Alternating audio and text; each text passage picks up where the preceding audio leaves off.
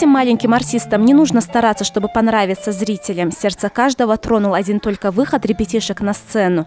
Тут и снеговики, и мышонок, и медвежонок. Самому младшему Виталий всего два года. Кульминацией зимней сказки стало появление Деда Мороза, но не совсем обычного, а крошечного. Пару заклинаний и дуновений, и вот он, настоящий волшебник. А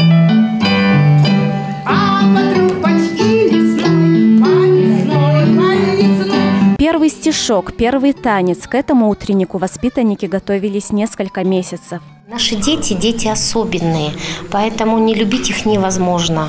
И удается это, вот знаете, благодаря тому, что все наши работники, сотрудники, они с душой и с любовью идут на работу. Среди приглашенных и сотрудники торгово-развлекательного центра «Макси». Уже два года они привозят детям подарки к Новому году. Хочется каждому ребенку пожелать найти в этом году семью, потому что, наверное, только руки мамы и папы согреют любовью любое сердце. Ну а сами малыши уж точно всегда готовы к чудесам. Они тянут свои ручки навстречу мечте, и она обязательно должна исполниться. Гуля Алхасова, Максим Лобачев, ЗАП.